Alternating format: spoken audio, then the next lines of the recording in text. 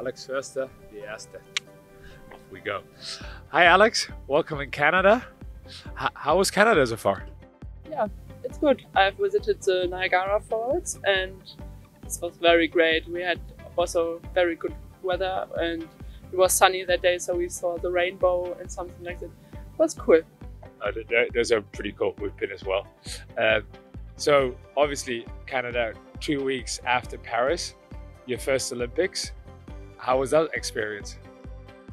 Um, I mean, it was a goal. Uh, it was like achieving, uh, yeah, uh, the main goal of several years of training, and this was the most special thing for me. Of, of course, also the whole stuff around the Olympic Village and meeting all the other athletes from different sports was also great. But yeah, I focused mainly on the regatta, and it was great to yeah have some good races, and I also um, proud of my performance. So it was great. Yeah. Uh, so, obviously, this is very close after Paris. Uh, was it for you always sure that you would go here, or was there some debate leading up to it? Uh, no, I wanted to go here very early, so also I know I knew it very, very early, so uh, I want to get my third uh, championship title here, uh, and it's also my last under 23 year. So I have, uh, yeah, I have nothing to lose. I want to have some fun here and do some great races, and yeah, end the season with a nice regatta and hopefully a win, maybe. Let's see. Uh, hi, Ionela. Marius, welcome in Canada. I think you just had your first race. How was it? Uh, was a pretty easy race. Uh, only the wind uh, put me in some difficulties, but uh, I managed to to do it very well. So, how is it to be racing here in Canada just two weeks after winning a silver medal? I really wanted to do this world because uh, will be my last one. so uh, I love uh, rowing, and I want to enjoy a little bit more of it. So here I am. Great. I mean, that's that's what we love to hear. Uh, Marius, you didn't think uh, lightweight single? Nothing for you? no, no, nothing for me.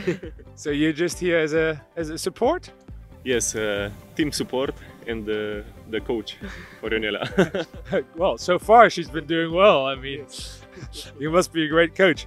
Uh, how, how was how was Paris for you? The two of you together. How is it to experience such an intense two weeks and or intense week in Paris together? Uh, Paris was a, a very good experience for us, like uh, family, because we, are, we was the flag bearers for Yeah. our country. So uh, this is extraordinary. And uh, for me, I, I win a medal. So the third time was a lucky one. Uh, I was in Rio, I was in Tokyo, and now in Paris, I I got the silver. All right, Paul. Welcome to Canada. Thanks, Niki. How are you? I'm good. How are you? Very good. So only two weeks ago we were in Paris. Uh, how how was that for you? Another gold must be a pretty cool experience. It was nice, actually. Yeah, it was very good regatta, well run, uh, very nice conditions, um, and a lot of Irish support as well. Uh, very close to home, so a lot of people travelled out, so it was great to see. So what motivates you to come out to Canada right after? I think you know I always like racing in the single.